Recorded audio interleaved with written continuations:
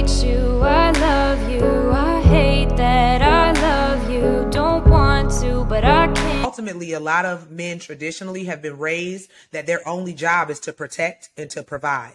So if a man is protecting and providing, then you should submit. But that misses a whole bunch of other things that we need in relationships, like intimacy, affection, emotional intelligence. It misses so much. What type of emo- emotional support do people need in relationships in order to feel secure in that way? For a woman to say, like, yeah, I'll be submissive. For a man to say, like, yeah, I'll protect and provide. Like, what type of support needs to be provided?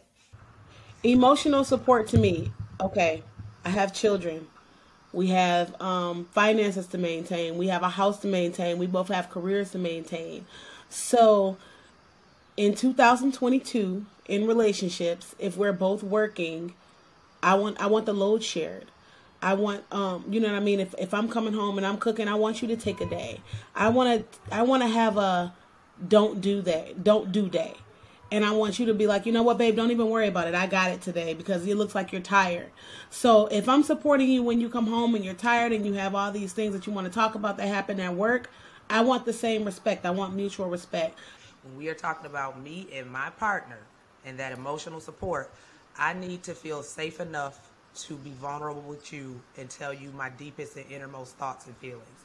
And if I don't feel safe enough to do that, then I am not being emotionally supported. This shows up a lot in couples counseling when they when couples come in and trust has been broken in any way, and I'm not just talking about infidelity. I mean in any way. Like you have relationships where I tell you something as my husband and you go tell your mother. No. Like this is a situation between you and I. There are some things that are just for you and I. I understand talking to people to get their perspective or when you need just an outside voice to kind of bring you back and ground you a little bit.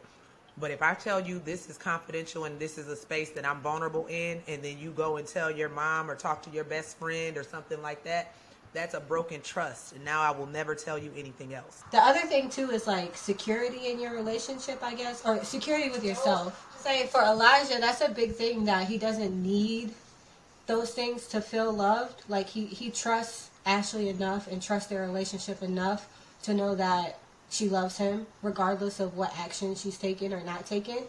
Um, but for other people like me, it's like I actually need you to show me that you love me because in the past I've had people tell me a lot that they love me or that they like me or want to be with me or whatever and haven't followed through on those actions. So when you use words and tell me but there there's no action, there's no time spent or like none of that to, to pair with it, then I don't believe you.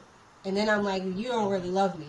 You faking. That's my favorite word. Isn't it? You faking. I think sometimes the action is providing. Um, you know, taking care. Of, Absolutely. Yeah. I like that. You hit that one on the head. I like that one. Go ahead. Keep going, baby. Keep going. I got you, Marcus. The action is right. sometimes providing, um, making sure that the kids are taken care of, making sure that you don't have to want for anything. Um, and for some people, that's a show of love.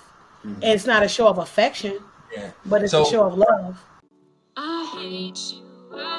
you. I hate that I love you. Don't